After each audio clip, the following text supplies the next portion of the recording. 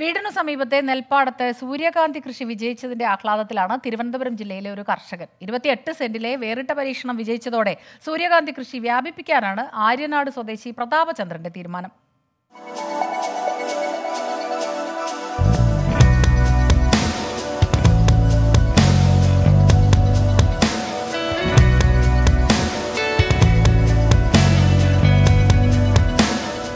വീടിനോട് ചേർന്ന വയലിൽ വർഷങ്ങളായി നെൽകൃഷി ചെയ്യുകയാണ് പ്രതാപചന്ദ്രൻ.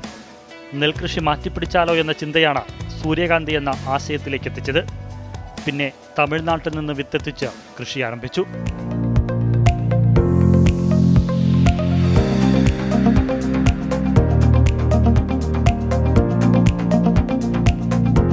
പുതുകൃഷി ചെയ്യണമെന്നൊരാഗ്രഹം അങ്ങനെ തമിഴ്നാട് പോയി കണ്ടു. തമിഴ്നാട് പോയി കണ്ടപ്പോൾ ഇഷ്ടപ്പെട്ടു. അങ്ങനെ സുഹൃത്ത് വഴിയാണ് ബന്ധ- കിട്ടിയത് സർക്കാർ ഫാമിൽ സൂര്യാന്തിക്ക് വെള്ളത്തിന്റെ ആവശ്യം കുറവാണ്. ഫസ്റ്റ് മാത്രം നനവ് മതി പിന്നെ നനവ് വേണ്ട. പിന്നെ വളം ചെയ്യുമ്പോൾ ഒന്നരട ഒന്നരട നനച്ചു കൊടുത്താൽ മാത്രം മതി. ആർക്കോണോ ചെയ്യാം. കൃഷി തുടങ്ങിയപ്പോൾ പലരും പരിഹസിച്ചുവെന്ന പ്രതാപചന്ദ്രൻ. എന്നാൽ നാൽപ്പത്തഞ്ച് ദിവസം കഴിഞ്ഞപ്പോൾ പൂക്കൾ വിരിഞ്ഞു. ഇപ്പോൾ രണ്ടു മാസമായി.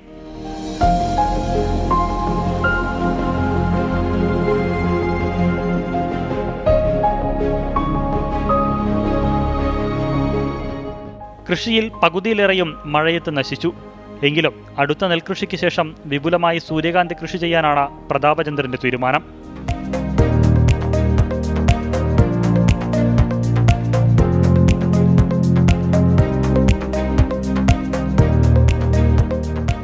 Twenty four Thiruvananthapuram.